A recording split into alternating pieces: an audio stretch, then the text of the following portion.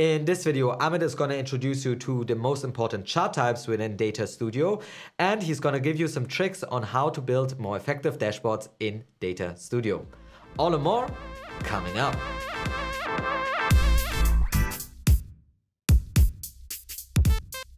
Hey there Measure Geeks, Julian here back with another video for you. Today we want to talk about Data Studio and data visualizations. Now you're seeing we are remodeling right now our little studio here and I'm thinking what should I put in the background? Let me know in the comments down below. Today we're going to talk about Data Studio and this is a quite new tool in the Google universe. So it's always evolving further and further and there's always stuff I learn from different people and today we want to learn from Ahmad, who's going to show us the different chart types within Data Studio. He's also going to give us his tricks on how to become more effective in building a dashboard. He's going, actually going to build a very small dashboard in this video in a very short amount of time. Now we got lots to cover so Ahmad, take it away. Thanks Julian. This is Ahmad from Siavak and today I'm going to show you six useful charts in Google Data Studio and we are going to create this simple report dashboard together. Okay, let's begin. First, I'm going to create a new blank Data Studio report and I'm going to create a new data source for it. For this tutorial, we're going to use Google Analytics and we are going to connect to Google Analytics demo account.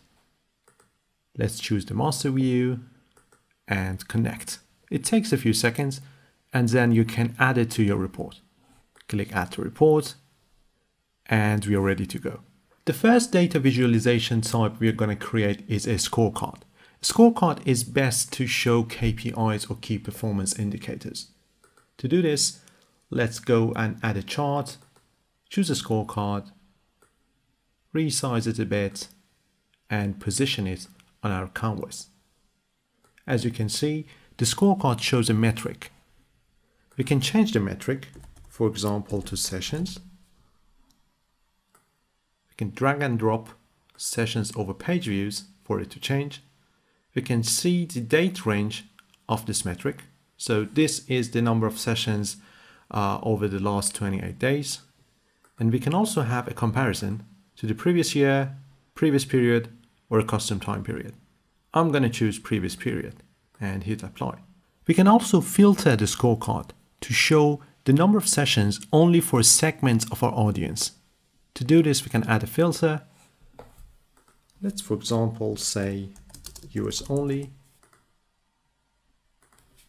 Select country equals to United States and hit save.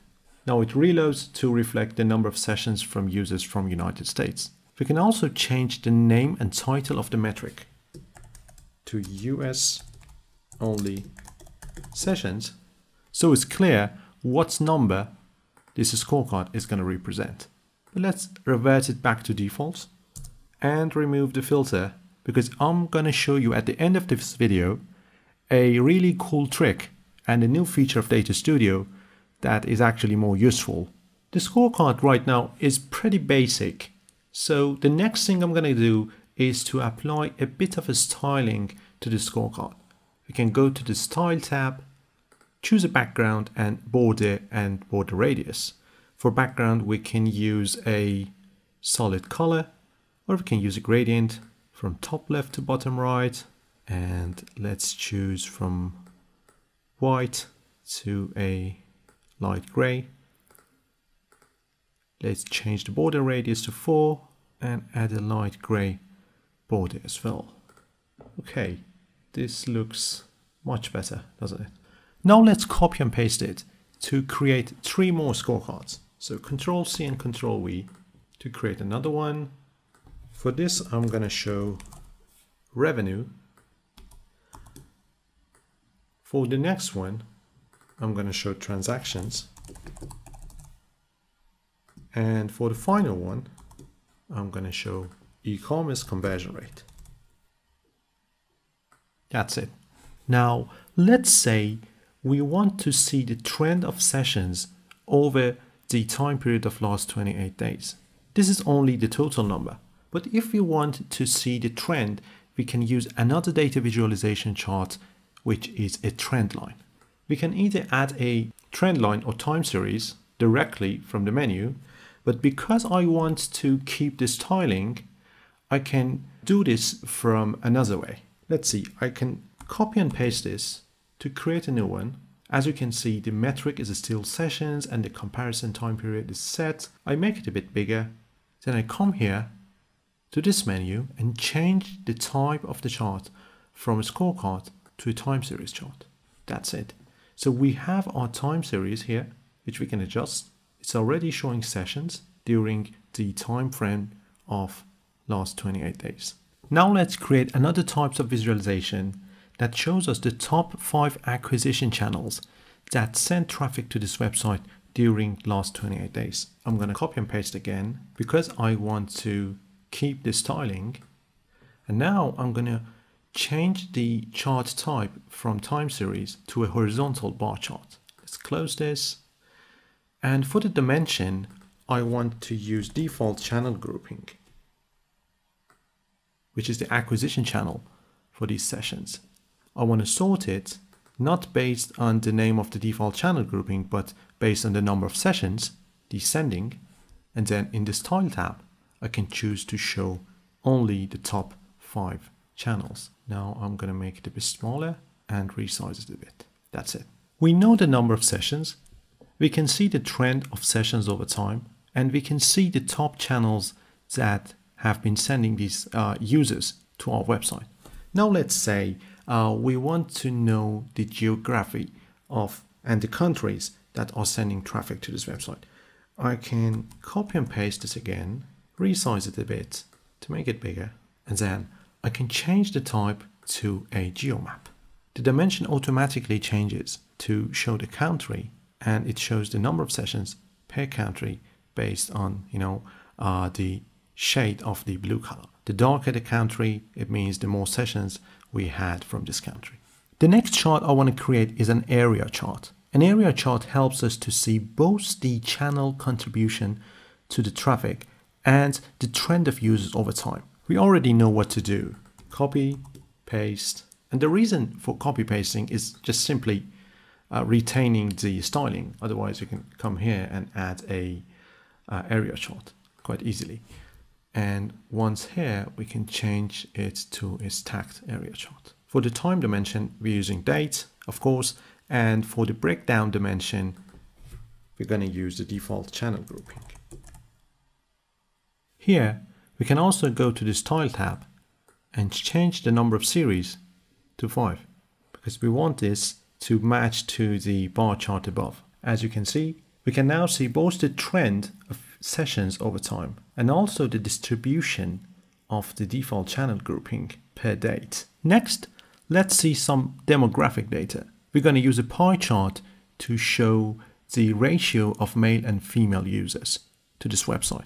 Let's copy and paste the bar chart and change it either to a pie chart or a donut chart. They're basically the same, they only look different. I like the donut chart. Let's make it a bit thicker and in data, let's choose gender as the dimension of this pie chart. Now also I'd like to come to the style tab and change the position of the legend. That's it. Congratulations, our simple dashboard is ready. We can preview the dashboard or you can also share it with your client or the end user. If they hover on any piece of the pie or bar or any date into the timeline or any country, they can see the actual number of sessions or any other metrics that you have on your visualization. But other than that, it's a static report. They cannot interact with it. So if they click, nothing happens. It basically stays the same. So now it's time for the cool trick that I promised to show you. Let's go back to edit mode. We want to make this dashboard a bit more interactive. Let's start by making the pie chart interactive. You can select the uh, visualization widget and on the data tab at the end we have interactions and we can choose it to apply a filter. Now let's see how it behaves. Now that we've enabled the interactions for this pie chart, if we hover and click on any piece of the pie, every other widget in this dashboard will get updated to show us the data for that segment only. Let's try. Now every other widget on this dashboard is updated to only show the number of sessions for male users. We can click again to reset it and go back to default. Now let's go back to edit mode and enable interactions for the rest of the widgets, for the map, for the area chart, and for the timeline. And so we have a totally interactive report dashboard. We can click on organic search to see data all for organic search, which is coming up with an error. I don't know why. We can click back to reset. We can click on the US to only see the other data for US users, just like what we did with the manual filter on sessions at the beginning, and then can click back to reset it. We can also apply two or more filters at the same time. So let's say female users from United States. Let's click again and reset. So we have two types of filtering and uh, report interaction in Data Studio. The first one is filtering, which is clicking on a segment on a graph to filter the rest of the widgets on the same report dashboard. The second one is called brushing, which is the selection of a time period on a chart like time series on an area chart to update the rest of the widgets in the same document to only represent the data for that time period. You can select the date or any time period that you want. That's it.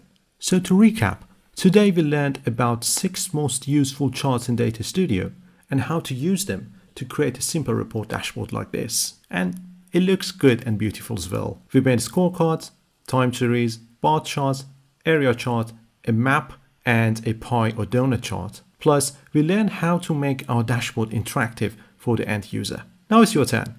Go make some cool dashboards and share the links in the comment section. Thanks for watching and good luck.